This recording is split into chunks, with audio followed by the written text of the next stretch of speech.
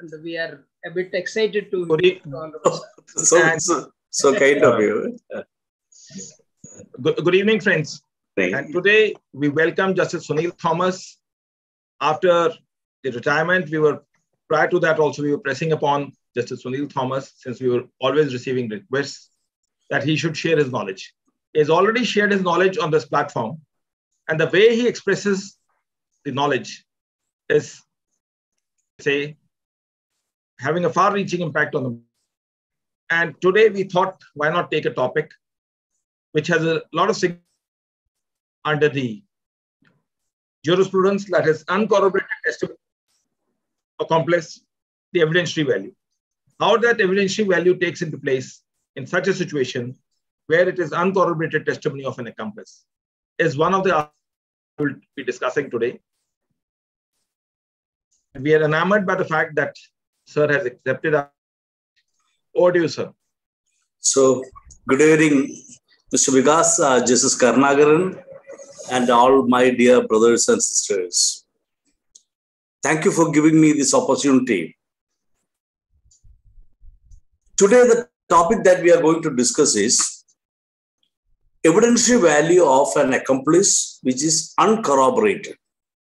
How far it is legally admissible in evidence. Now, just before going into that, we'll just have a brief look at the scheme of the statute as to how the evidence of an accomplice is admitted in evidence. An accomplice, as you all know, is a term which is not specifically defined under the Indian Evidence Act or in any other statutory provision. But as we know, accomplice is a person who is a privy party to or who has participated in or who was involved in a crime. And in the course of investigation, in the exceptional cases, the investigating agency will be faced with one, one difficult task.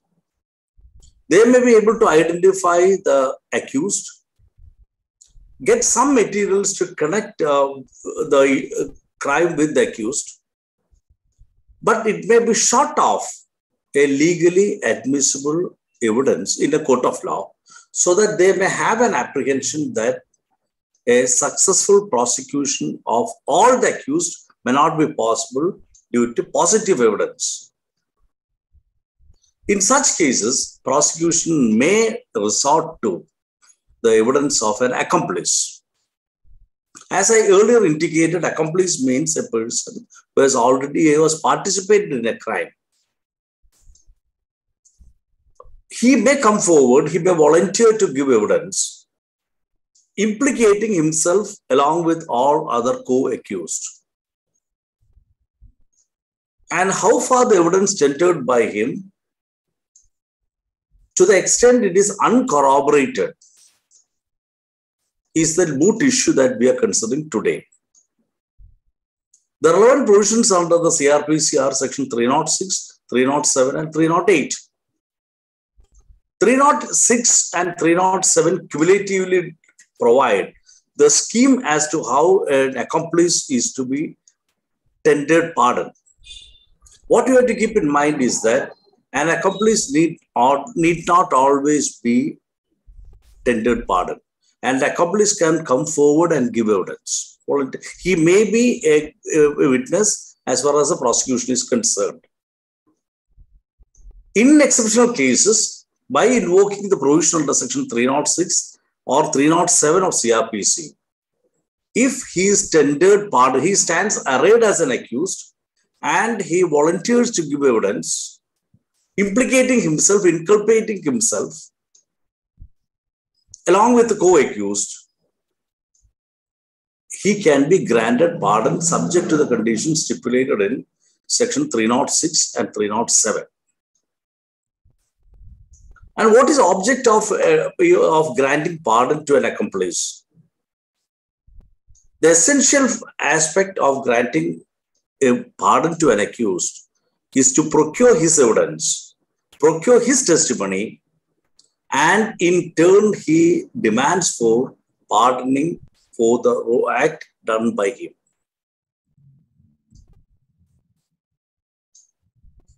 What happens is that there are certain formalities contemplated under section 306 and 307. Pardon can be granted at any stage of uh, proceedings. It may be at the course of investigation, it may be in the course of uh, at the time of inquiry, and even at the time of trial. the essential fact for granting pardon to an accomplice so that he becomes an approver is that he must be a party to or he must have participated in the crime. And secondly, he must not have been convicted for that participation. And section 306 says that a person who is supposed to be a participant in a crime, who has involved or is a privy to a crime, can be granted pardon under Section 306 at any stage of investigation or trial. There are a few conditions to be satisfied. One is that the crime must be a one which involves a punishment, liable, uh, the accused must be liable for punishment of more than seven or more years. Or it may be as an, an offense which may, try, which may be exclusively triable by tried by a court of session or a special court constituted under the Special Courts Criminal Law Amendment Act. Essentially, what we understand is that pardon is granted to an approver under Section 306 in exceptional cases in serious offences. It has got its own rationale also. The rationale is that the provision for granting pardon to an accomplice should not be invariably used in minor offenses. This is the essential reason.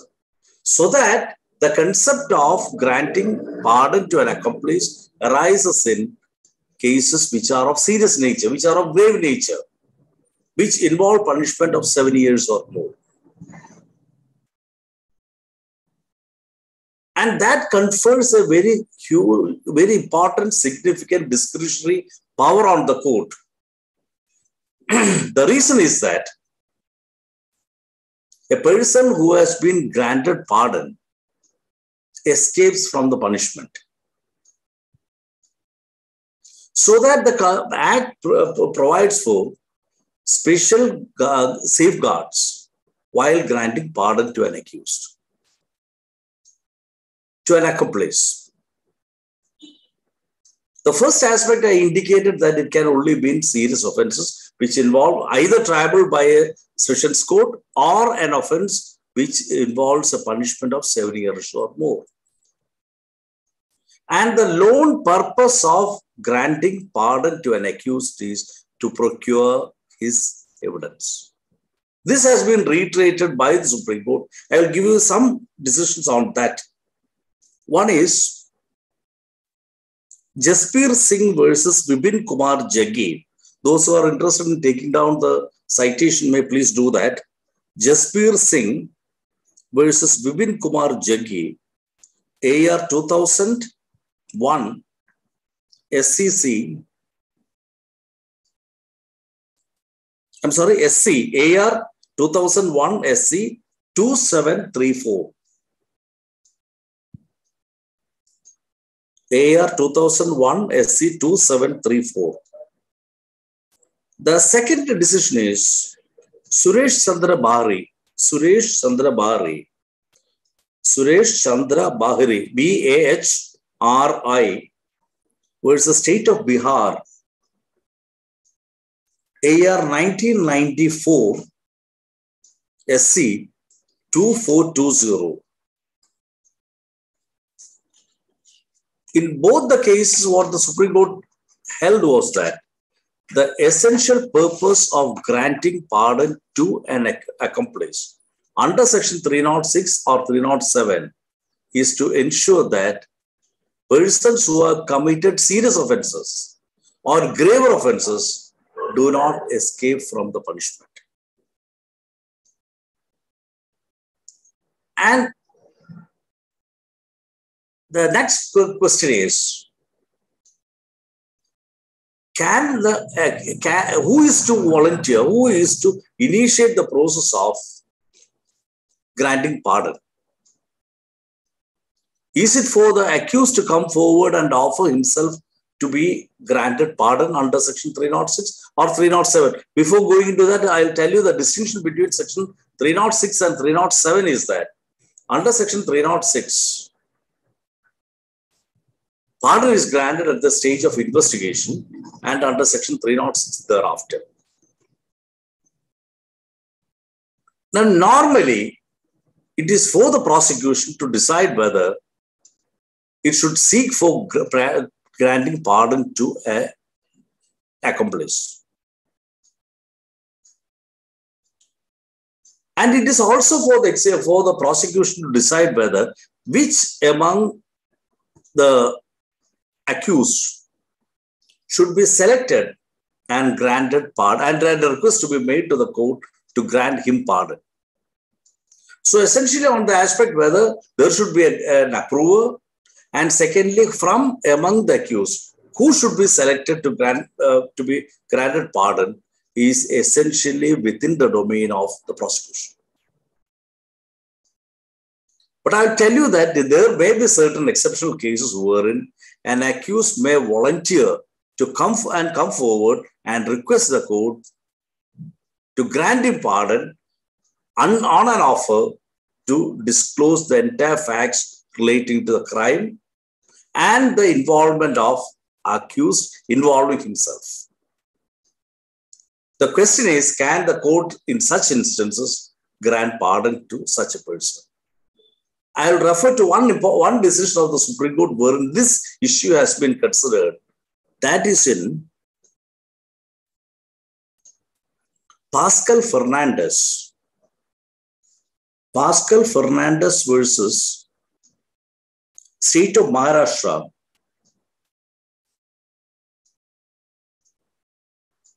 AR 1968, SC 594.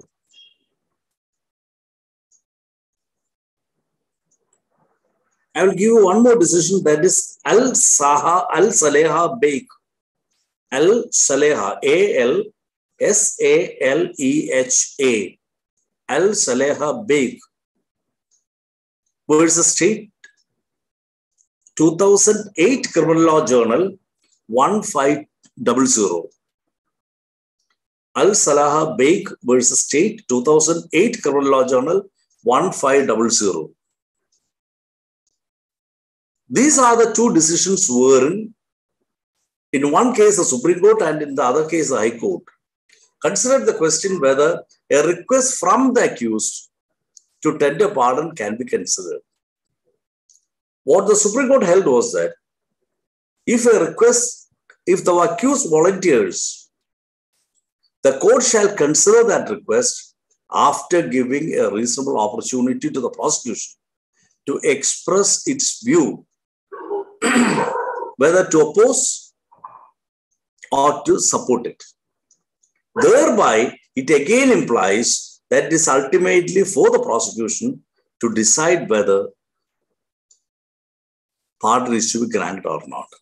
But invariably, as I read, as I said, the request should always come from the prosecution side normally. But there may be instances where the accused may come forward, but the court shall pass an order after giving an opportunity to the prosecution. Because what Supreme Court said was that it is not the lookout of the court to decide whether pardon is to be granted. It is essentially within the domain of the prosecution. this is what the Supreme Court said. I told you that granting of pardon to an accomplice is a discretionary power which has to be exercised by the court very cautiously, having regard to the fact that the prosecution normally comes forward with such a request due to the paucity of evidence. Secondly, it has got the inherent danger of that person who is granted pardon likely to escape a punishment. There is one more, one more inherent danger. The courts have always cautioned that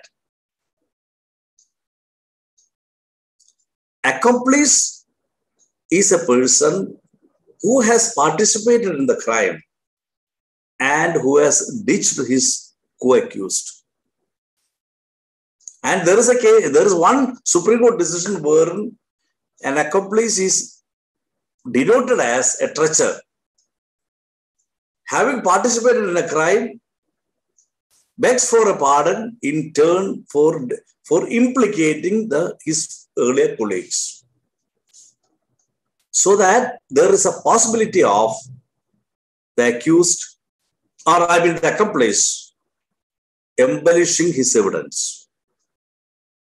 This is an aspect which will come in, come in detail for the later. But for the time being, understand that a duty is cast on the court to consider the request for granting pardon to an accused carefully and to pass an order. Necessarily, Section 306 imposes certain obligation on the court. First, to pass a detailed order as to why the permission is granted or not granted. Secondly, that order should also specify whether the person has accepted the pardon offered to him. Thirdly, he must be supplied with the copies of all the materials, including the order passed by the court, free of cost on request. These are the obligations imposed on the court while granting pardon. Why is that the statute imposes a condition that the court should pass a detailed consent order?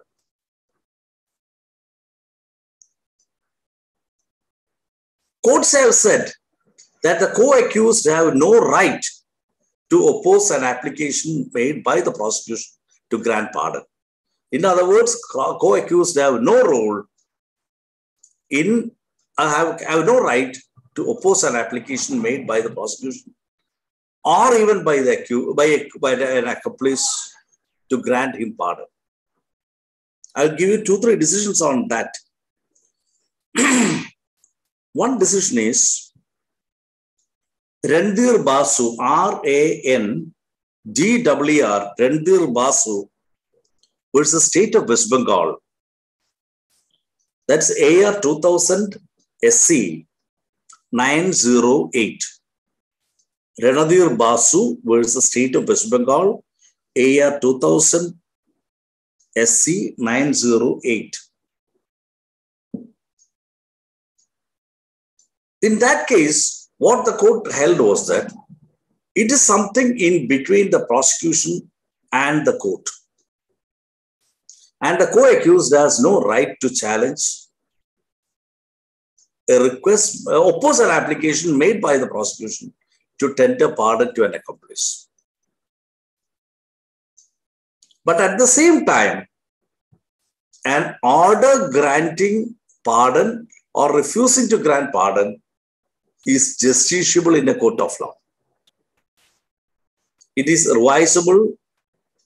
That's the reason why the statute demands that there must be a reasoned order. There are, I'll give you two, three, two decisions on that.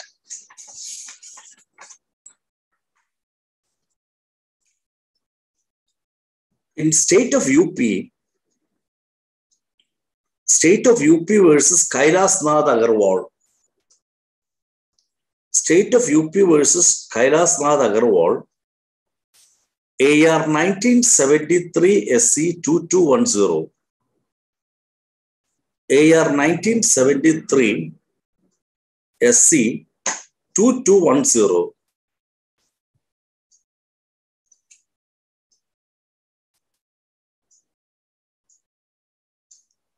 In that case, what the Supreme Court held was that the order granting pardon or order rejecting an application for granting pardon is revisable and can be challenged in a court of law.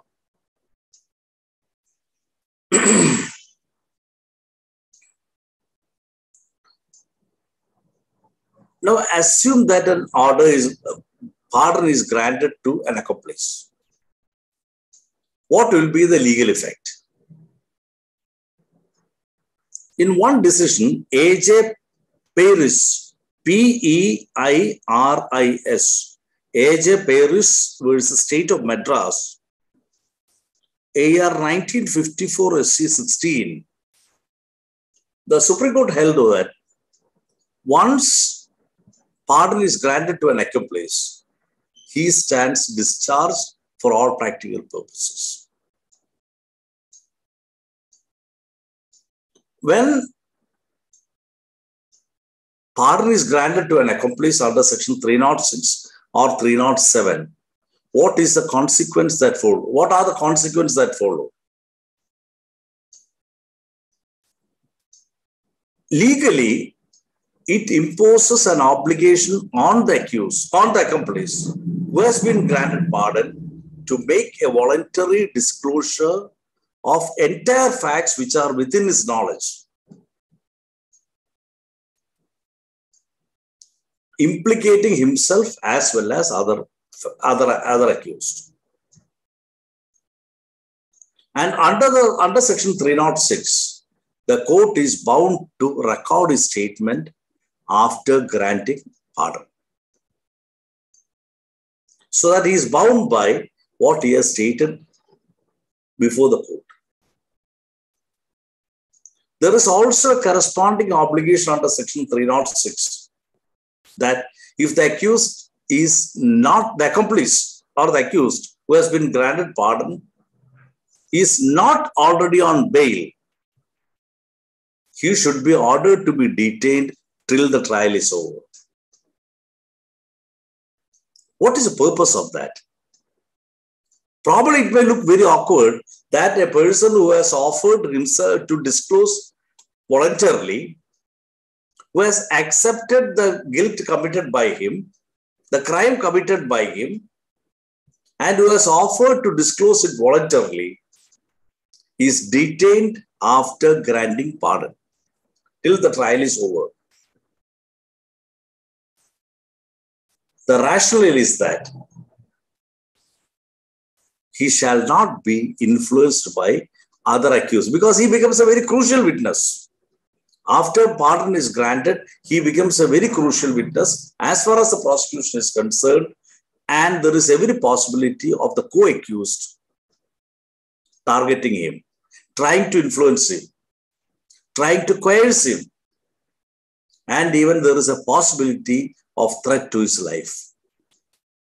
So, to insulate him from external influences, to protect his life, protect his uh, uh, version, and to re- keep him protected from all external influences, Section 306 empowers the court to order detention of a person who has already granted, who has, who has been granted pardon.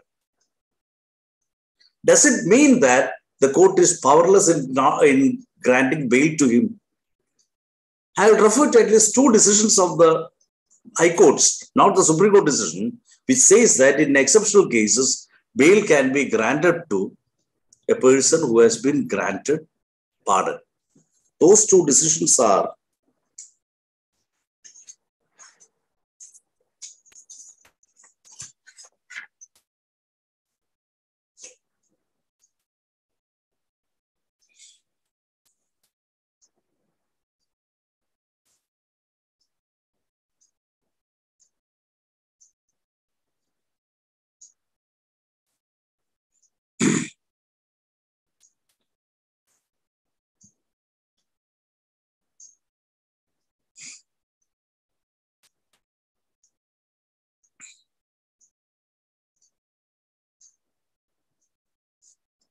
They are N. K. Anil Kumar versus State of Kerala.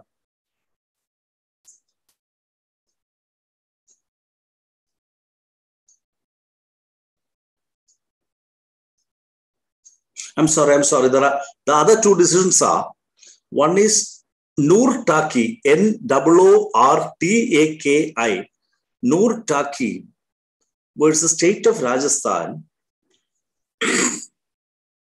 1986 Criminal Law Journal 1488. 1986 Criminal Law Journal 1488.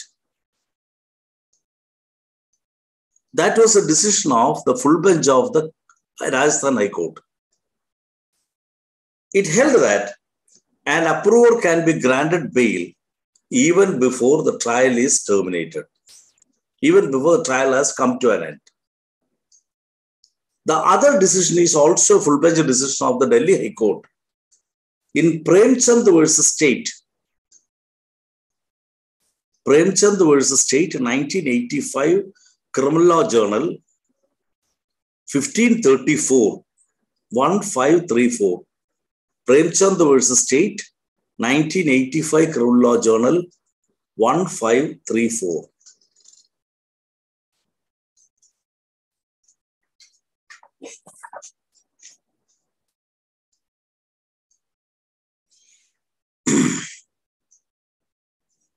So these two decisions are authorities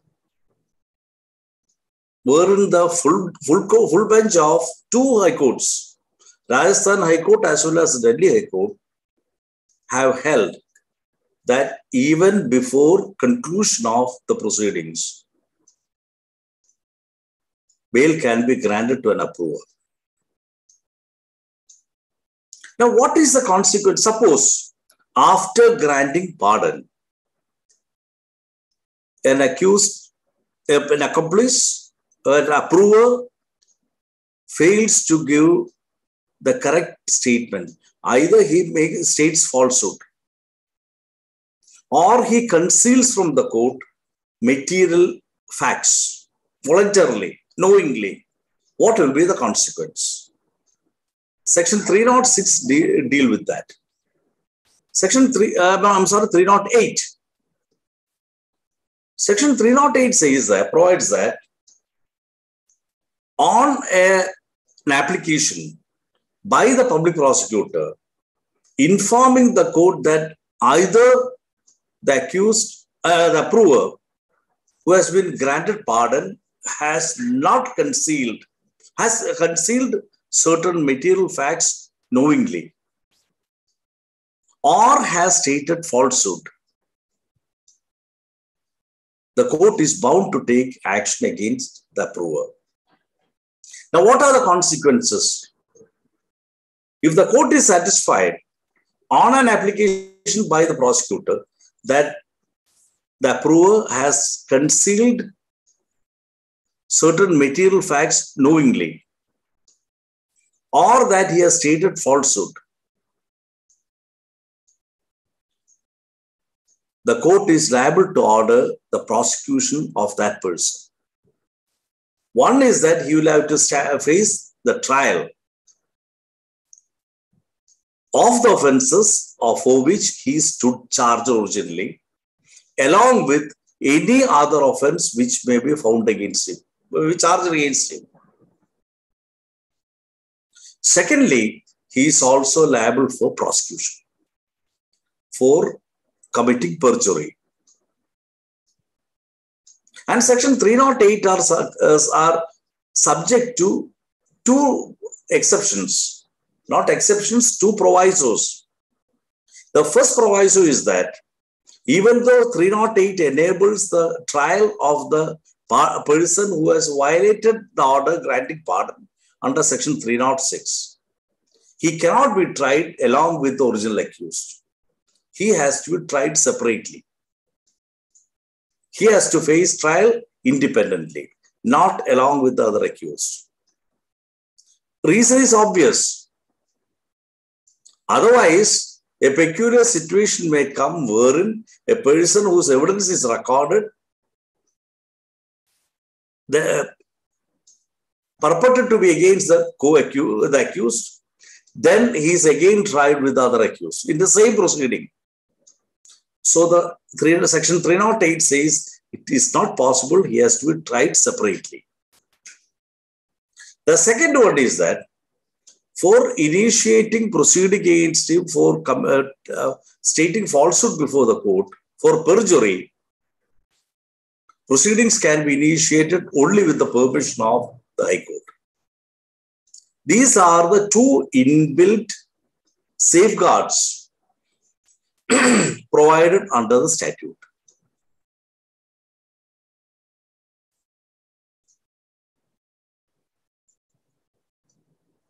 Now, a person who has been granted pardon either under section 306 or under section 307 is under a very solemn obligation to tell the truth and to make a complete disclosure of facts within his knowledge.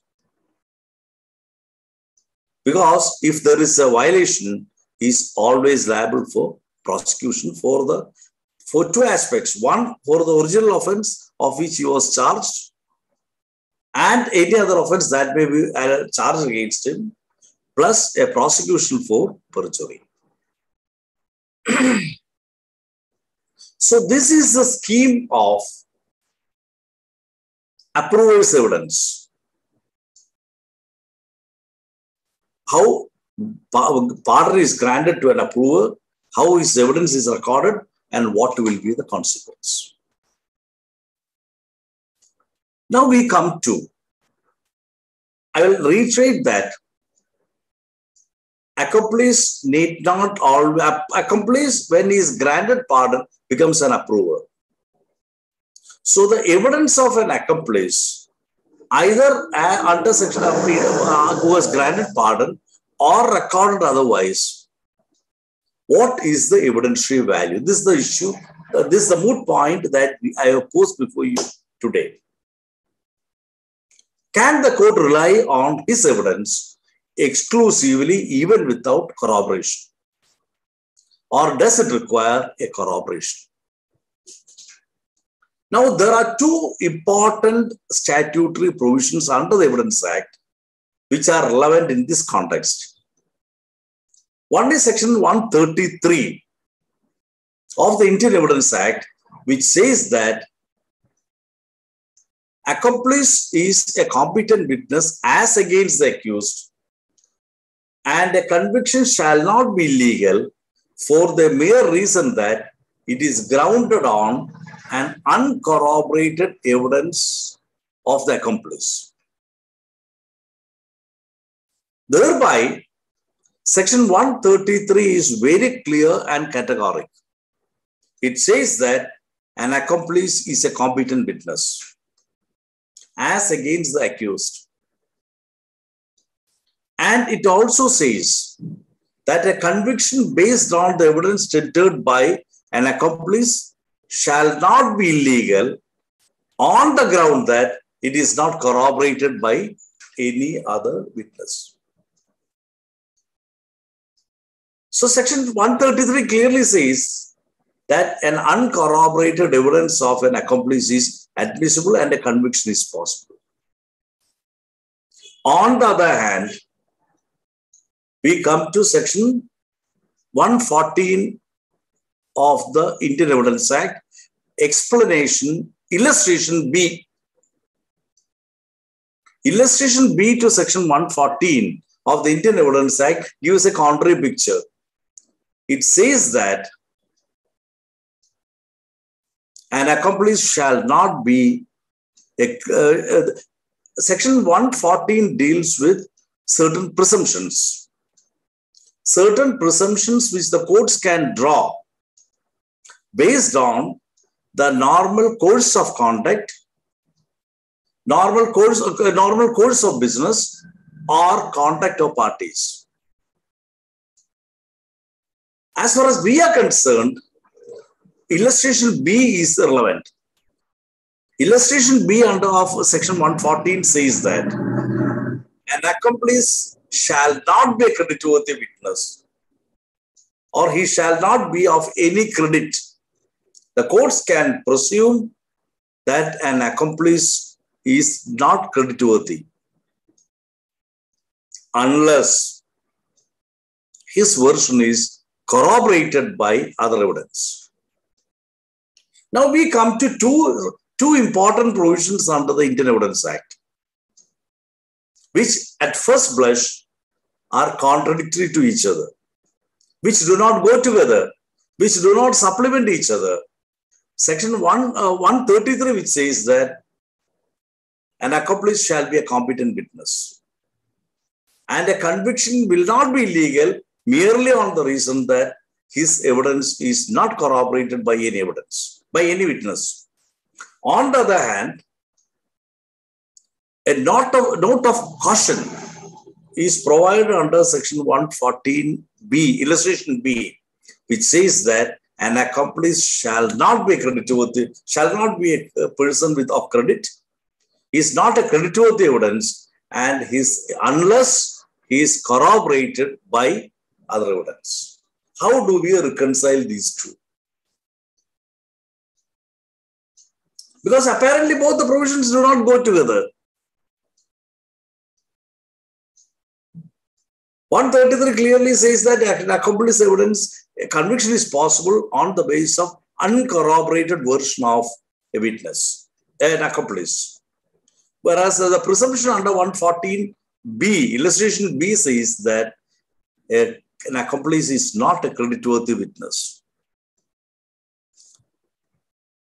unless it is corroborated. So that one, one provision says that cautions the court that you should not accept the version of an accomplice unless it is corroborated.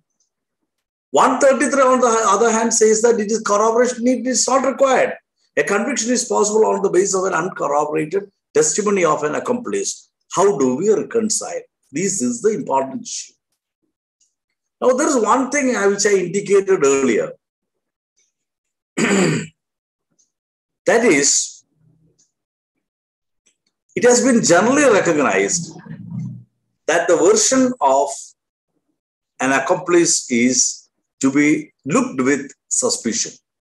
Need not be always suspicion with some care and caution. What is the reason? The reason is obvious. Here is a person who had participated in a crime. There may be exceptional circumstances wherein he would not have been a voluntarily, he would not have participated in the crime along with the co-accused voluntarily. It may be a case wherein due to peculiar circumstance, he was pushed into commission of an offense along with others. But normally, we can say that accomplice is a person who was who is a part person was was participated or a party to or has been privy to the commission of an offense. Then he turned hostile, not turned hostile, he turned his sides, bargained for an acquittal, bargained for a discharge, in turn for giving evidence against the persons with whom he had earlier participated in the crime. So the court says, courts have always said that the evidence tendered by an accomplice should always be looked with some caution. Here is a person whose version can who is a tainted person. And I refer to one uh, decision of the Supreme Court where it has even indicated that accomplice or an approver is a treacher who has cheated his uh, colleagues, not exactly the colleagues who with whom who had participated in a crime. Not only that, then he bargained for a discharge by undertaking to give evidence against the co-accused. And hence there is always a possibility of not only that the, the, the witness is not a creditworthy person, but also his version, his testimony may be slightly tainted. He may try to justify himself, though he may implicate himself. He may disclose the role played by him, but he will always try. There is a very possibility of that person trying to justify himself. or trying to project the role played by the other accused, whereas subduing or uh, reducing his own role. So that his evidence has to be cautioned, has to be taken with great care and caution. Now, how do we reconcile these two statutory provisions? I'll tell you that there has been a lot of decisions on this aspect referring to illustration B of section 114 as well as section 133 of the Indian Evidence Act. I'll refer to the various decisions and what the courts have held, how to reconcile these two statutory provisions. You cannot exclude one statutory provision and prefer the other one. You have to reconcile both these provisions. Otherwise, it will look apparently contradictory to each other. One of the earliest decisions on that point is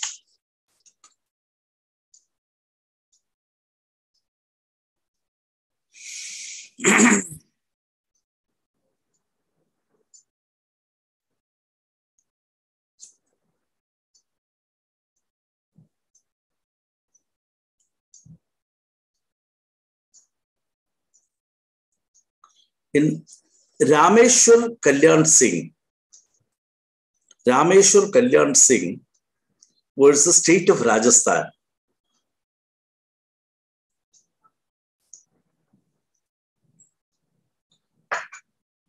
Rajas, Rameshwar Kalyan Singh was state of Rajasthan. AIR 1952 SC, page 54. AIR 1952 SC, page 54. Rameshwar Kalyan Singh versus State of Rajasthan.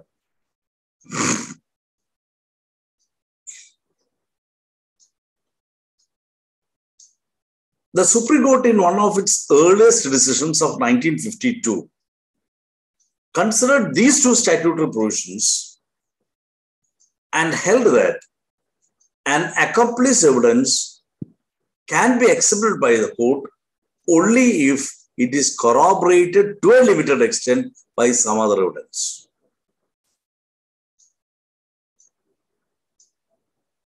So that what the Supreme Court held in the, the earliest decision was that there should be a, the evidence of an accomplice can be accepted by the court provided there is some corroboration on some material points by other evidence. Now, can we say that uh, court has given a go by to the illustration of the section 133?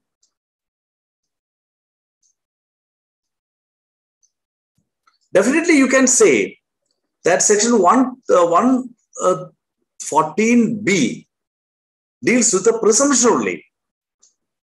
One method of uh, finding reconciling both the provisions is that by saying that 114 is only a presumption.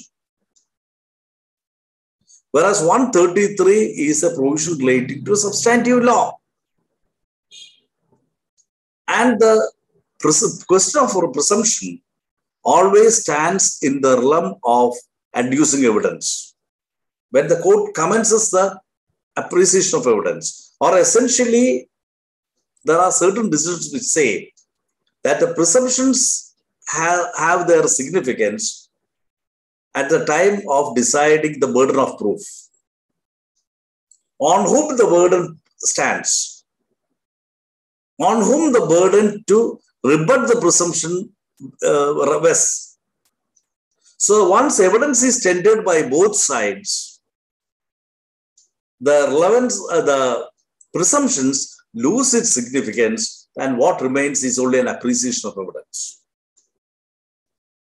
So there is one mode of trying to reconcile both these statutory provisions by saying that 113b, 114b falls within the realms of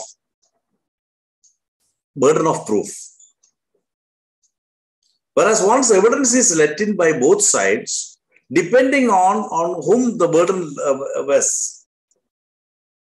then the court has to be guided by section 133 and not by 114b of the Indian Evidence Act.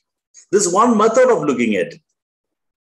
But what the Supreme Court held in Rameshwar Kalyan Singh's case was that accomplice evidence can be accepted only if it is corroborated on material points, on at least some material points by other evidence. In other words, an uncorroborated testimony of accomplice cannot be accepted. And the court said that it is only based on a rule of prudence. Then comes the next decision. That's in 1956. That is Vemi Reddy, V-E-M-I, V-E-M-Y, Vemi Reddy, Satyanarayan, Vemir Reddy Satyanarayan versus State of Hyderabad.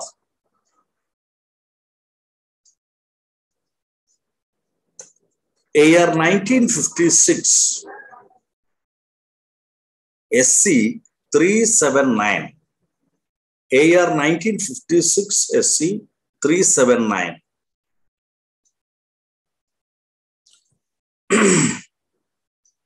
in that Supreme Court almost followed the earlier decision in Rameshwar Kalyan Singh's case and held that there must be some corroboration. Need not be a complete corroboration on all material points. Some corroboration of the evidence tendered by the accomplice on some material aspects and that corroboration need not be on all facts. Because if the evidence centered by the uh, testimony of the accomplice is completely corroborated by other evidence, the evidence of uh, the accomplice loses its, its significance. So that there need not be complete corroboration, but on material points, there must be some corroboration. And that corroboration should be with respect to two aspects. One is that regarding the commission of crime, and second is that the accused have some role in the commission of crime. Now, two, on those these two aspects, there must be corroboration. And the court also said corroboration need not be on all facts. And corroboration can also need, should not also be on direct involvement of the accused, but also in relation to circumstances that lead to a probable conclusion that the accused have committed the crime. These were the this was the law laid down in Vemmi case. This was followed by another important decision in the year 1957 that is in Sarwan Singh, S A R W A N, Sarwan Singh versus State of Punjab. Sarwan Singh versus State of Punjab. AIR 1957 SC 637.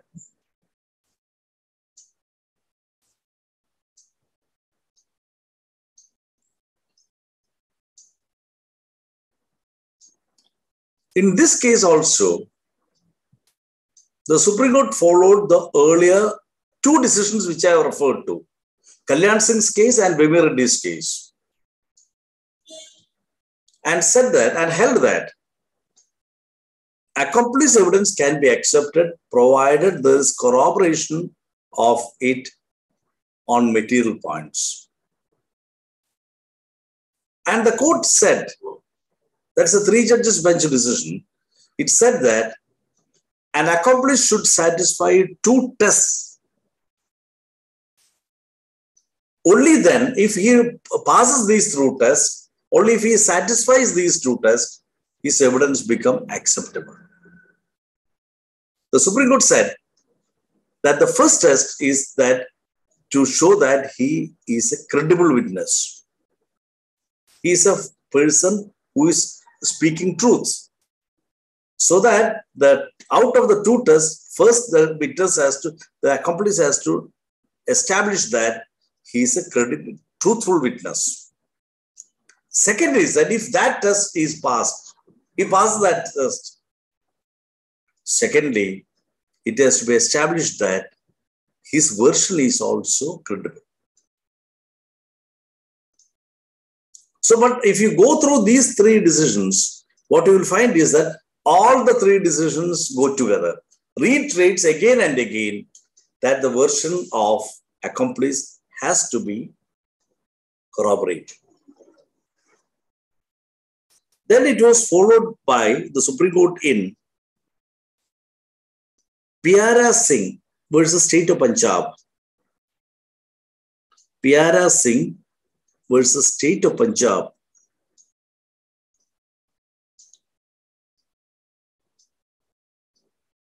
AR 1969 SC 961.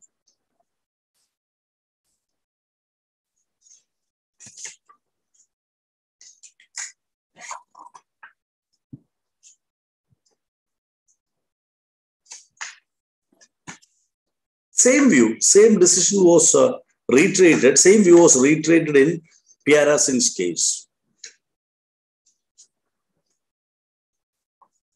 Now I'll refer to two decisions of the Supreme Court. In this context, they are Khokan Giri, K, K-H, K-H-O-K-A-N, Khokan Giri, G-I-R-I, Giri, versus State of West Bengal,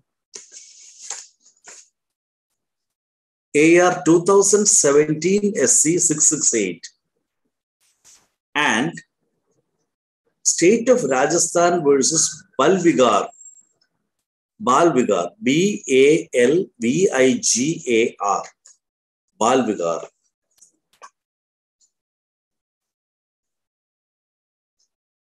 Two thousand fourteen Criminal Law Journal, three one four. In both the decisions, I'll repeat the citation 2014 Criminal Law Journal 314. In both the decisions, Supreme Court relied on the sole testimony of the accomplice. But since it received a corroboration from other material facts. So what we what what what the all the decisions point to one thing.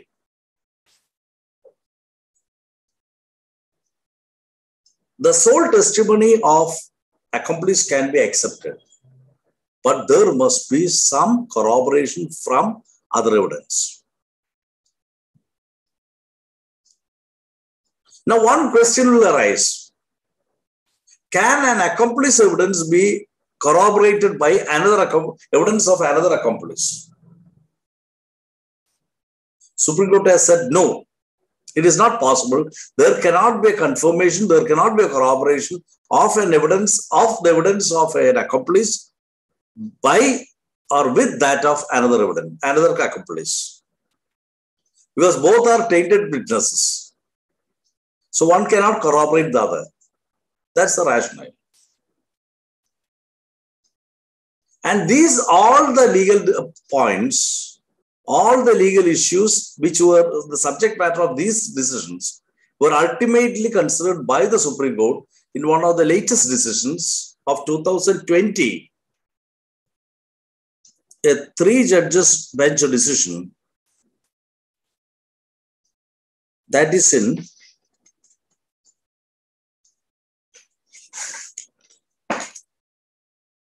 Somasundaram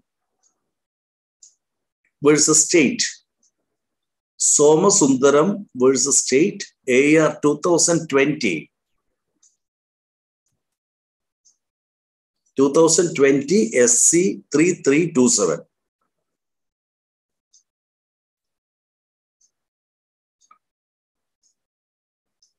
Somasundaram versus State, AIR 2020 SC 3327.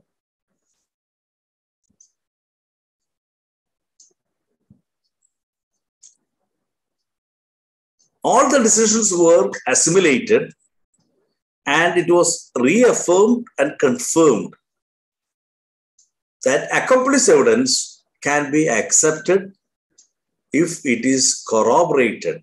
Normally, now what the courts use is rather than going for a corroboration, it says it is confirmed by. Confirmed from some confirmation is obtained from other materials. So, what the Supreme Court ultimately held in this uh, Somasundaram's case was that one, there must be confirmation or corroboration on material points. Secondly, it was said, held that there need not be a corroboration on each and every point.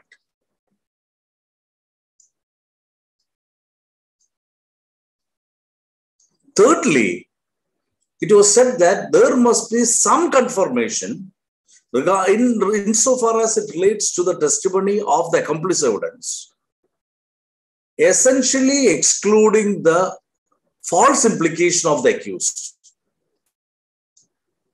Or, in other words, the evidence of the accomplice, the corroboration must go to the extent of first ruling out a false implication then from other facts, from other circumstances, from other materials, there is some confirmation of the evidence tendered by the accomplice.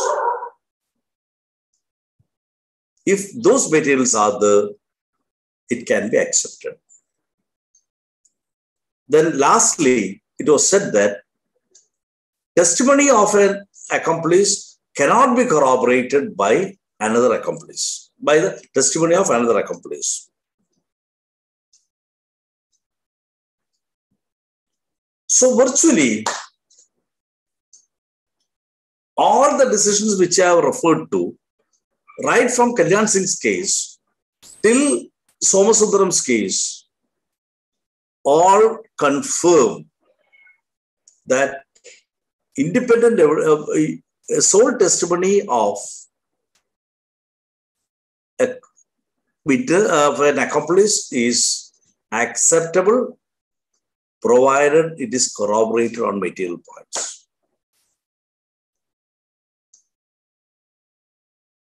So this is the law. Then one question will arise. Has how far how the court has reconciled section 114b as well as 133. I initially started by saying that these are two apparently opposing provisions. All the decisions now confirm that evidence of accomplice can be accepted provided there is a corroboration. Does it support 113, uh, 113B, explanation B, or it is in favor of 133? Curiously, if you go through all these decisions, you will find that there is no discussion on this aspect.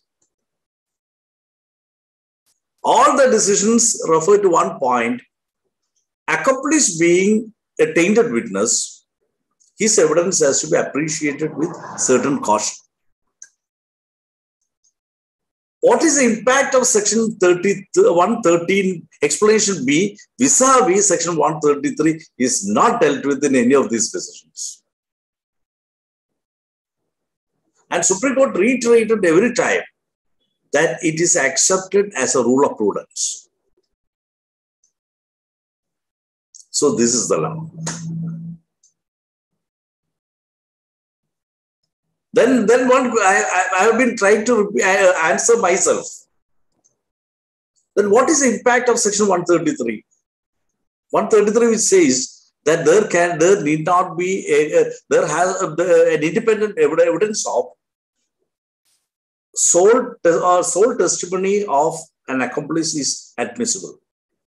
And a conviction can be, will not be illegal merely for the reason that it is not corroborated by any other evidence.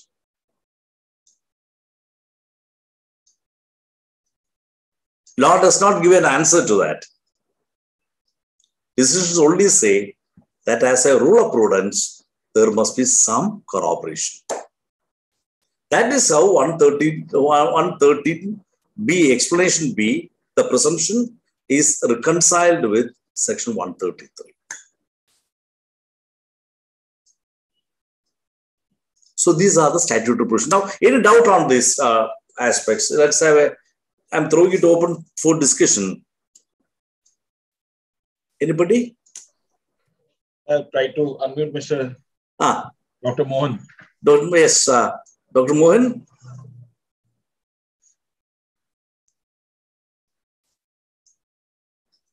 Because I was seeing on the YouTube as well as because Ah. you have explained in such an extensive manner. I think that the any Yes, sir, doubts. Honorable Sir. Ah, ah, yes. I, Um, have a small request. Ah, yes, yes, yes. Ah. Even Justice Karnagaran sir wants to. Uh, I, I, I, I, I, I, I wanted to share his view. Just, Karna- ah. Uh, Professor uh, Dr. Mohan, would you like to start you or uh, before going to just Karnayar? just Uh, uh, yes, uh, only one ah, yeah. I want Honorable Sir to. Yeah. uh, Yes, good brother, brother, brother, to- brother, yes, water yes, uh, something. yes. Can you? Is it audible? Yes, I- you are audible. audible? Very, much, very much audible. Yes. sir. Yes, sir. Uh, just uh, thought, but if I understand you correctly, because I don't have the Indian Evidence Act with me, Ah. I studied when I was practicing in uh, it's, uh, about 30, 30 years ago, 40 years ago in Yes. India. Uh, you said that uh, 114B Ah. and uh, 133, 133. 133, yeah, there appears to be an apparent uh, uh, inconsistency Inconsistency, or yes. inconsistency. For me, I think it's a question of interpretation. What Yeah. I, as you said, what I understand is 114b simply says the evidence of an accomplice is not credible. Credible, yes. Essence of Exactly, exactly, B- yes. B, okay. And 133 says, even though he is an accomplice, uh, it can be relied and acted upon even if it is uncorroborated. Yes. Am I, am I right? Yes. So I'll do one thing. I'll just I'll just uh, just read it, uh, brother Karnayaran. Eh? I'll just Yes. read the, both the statutory provisions. So let us be very clear on that. Okay. Section one, 114B. 114, the heading is Court may presume the existence of certain facts. yes. Then explanation, illustration B says that and any accomplice is unworthy of credit unless he is corroborated in material particulars. Thereby clearly says he is uh, it is cre- not credible, he is not creditworthy unless corroborated. Then we come to 144, 133. I'm sorry. 1for- 133. An accomplice shall be a competent witness against an accused person, and the conviction is not illegal merely because it proceeds from the upon the uncorroborated testimony of an accomplice. Understand. Wo- Words are very clear. Words are very clear. yes yes what what what i i uh, interpret is this is my interpretation Yes, what, yes. but actually 114b there is no need for us to reconcile. Everything is in order. Ah. 114b creates a legal presumption Ah, impliedly Ah. that you cannot take his evidence accomplice evidence as credible. That is unless a rebut- ah, i- it is a rebuttable presumption created by 114b yes. this can be rebutted so the burden again on the prosecution to establish apart from the course uh, i mean assessment of the credibility weight and so on Hmm. there should be some evidence to the effect that the accomplice evidence is credible to rebut the presumption created by 114b Yes. so when you go to 133, when it says uncorroborated evidence, you cannot simply, there is an implied reading there. And it cannot be, uh, you cannot act on the uncorroborated, uh, uh, you can act on the uncorroborated evidence provided it is credible. That is implied there. So corroboration and uh, credibility are two different aspects of Yes. evidence. Yes. any witness for that matter should be credible that is Yes. a general rule all Yes. witnesses you should you should find out i mean whether appreciate the evidence evidence is credible Yes. as the, the one of the judgment distinguished that uh, it should be uh, credible not as a person that person should be credible as well as his version is also credible Yes. so the one of the judgment you mentioned yes. yes though therefore the credibility is general. that is required irrespective of the fact whether it is corroborated or uncorroborated under section 133 of the evidence act Then So I, I, everything I, is don't, about- I, I'll put it this way. If that be so, if section 114b deals with the credibility of a witness, how can, if a cre- witness who is not credible be a competent witness under section 133? Because 133, two things are there. It says, first part says he is a competent witness. yes no he is a competent witness. Second part says his a conviction is possible even without corroboration. the, the implied fact is Yeah. that it should be credible the Credible. third element comes into picture Yes, yes. credibility Ah. credibility as a person as credibility as to version the subsequent uh, judgments you, you you refer to the credibility of the person as well as the credibility of the version Ah. he has given Correct. There are two tests. Two, one is the one is credibility of that person. Secondly, credibility of his version. version yes Ah. both i mean when we say credibility there are two elements in it one is the credibility of the person credibility of the version according to the subsequent judgment you mentioned so there is on uh, just uh, you know for me it appears everything is uh, in order there is no inconsistency 114 creates a rebuttable presumption that the Yes. evidence of the accomplice should be credible. It says it is the presumption is is not credible that you must start from that. Then it is Yes, yes. burden burden on the prosecution to prove. No no no no.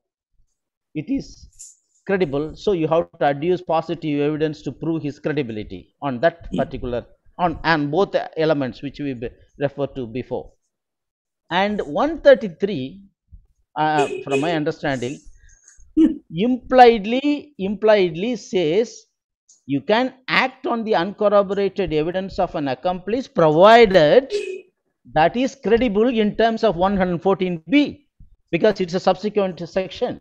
114 then 133 you cannot isolate 133 and interpret it. Look, would, would have been better had the had the play had the placing of these two provisions be on the reverse. The first one says he is not credible. The second provision says he can be he is credible.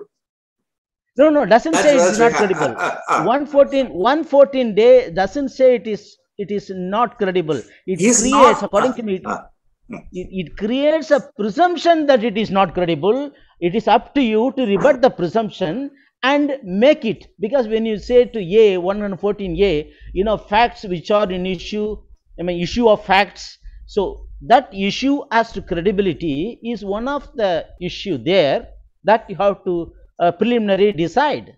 If that be so, the- if, if that be so, brother, how does it come that when we come to 133, it says yes. it did not be corroborated?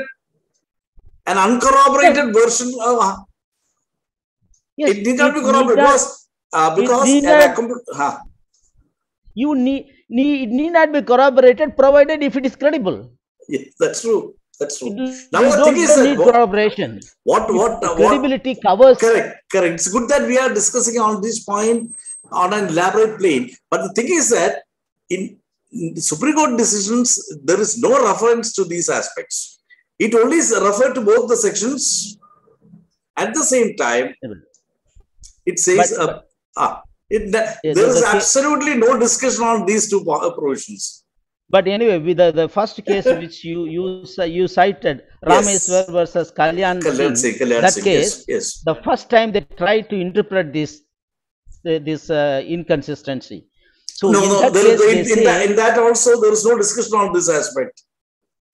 okay but they say presumption of burden of Ah. proving Yes. So that presumption of uh, burden of proof presumption of burden of proof, we are not talking dealing with 114. This is Yes. the presumption of credibility Yes. or non credibility. Yes. So that is the presumption which we they should have discussed, but rather they have gone on to the presumption of burden of proof. Burden Correct, of correct. proof is evident. Evidential burden is completely different. That can be assessed only after the clo- uh, closing of the whole case. So let us see what, the, what, what, what does Professor Dr. Mohan says. What's your view, Dr. Mohan? Uh, you're about to say something. Uh, yes, please, please. You have to unmute yourself. Uh, please unmute uh, Dr. Mohan. Sir, Ah, what as as Honorable Sir rightly pointed out, there is an apparent apparent inconsistency. It's not true to say that there is inconsistency. What do I, how do I put it is, 133 says that it is not illegal even if an uncorroborated accomplice evidence is taken into consideration for convicting the accused. Yes. On the other hand, there is only a presumption under section 114b. And that too, by the aid of the illustration, the act gives us a caution that don't be carried away by an accomplice mere statement without corroboration. Yes. And an elaborate discussion with respect to this and reliability and corroboration, corroborative evidence basing on the accomplice evidence has uh, taken place in Auto case. Auto Shankar's case, which you referred to. very highly sensational Auto Shankar case where multiple murders take place, took place, and Auto Shankar could not be even traced out without the accomplice confession and without the aid of the accomplice. Police Yes. were uh, police were put to a very heavy task, and it was uh, a very very big uh, sensation uh, all over the country. And and in that, the court has elaborately discussed the danger. It has it has given the caution that there shall not be uncorroborated accomplice statement forming the basis for conviction. Conviction, correct. It, it- it's generally not possible even for the court also to uh, take a decision to convict uh, the accused basing on the co-accused version. And uh, generally the credibility gets attached to it because he's also getting implicated and uh, Honorable Sir was pointing out section 306, 307 and the pardoning of these, these particular person. Even as, as it is contrary to what is laid down or what is uh, what is to be understood as voluntary confession. Yes. I mean, on on one's own, there won't be uh, anybody saying that. Uh, I-